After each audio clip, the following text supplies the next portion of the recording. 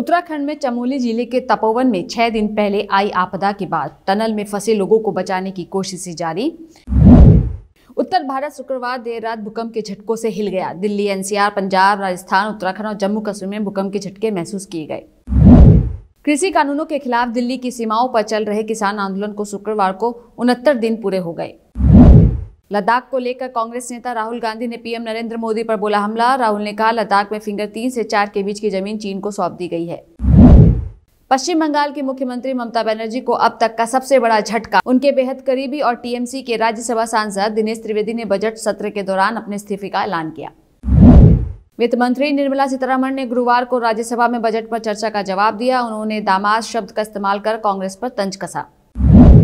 Supreme court ने Twitter, Facebook पर fake news और भड़काऊ मैसेज रोकने की मांग वाली एक याचिका पर शुक्रवार को सुनवाई की। अदालत ने इस मामले में केंद्र सरकार और सोशल मीडिया प्लेटफॉर्म को नोटिस जारी किया। आईपीएल के चौदहवें सीज़न के लिए मिनी ऑक्शन 18 फरवरी को चेन्नई में होगा। इसके लिए दो सौ बानवे खिलाड़ियों की लिस्ट जारी। केंद्रीय मंत्री नितिन गडकरी ने देश के पहले सीएनजी ट्रैक्टर को लॉन्च किया। ये एक पुराने डीजल ट्रैक्टर था, जिसे सीएनजी में बदला गया। वुमेन डेटिंग ऐप अम्बल के शेयर की वैलेंटाइन वीक में शानदार ओपनिंग।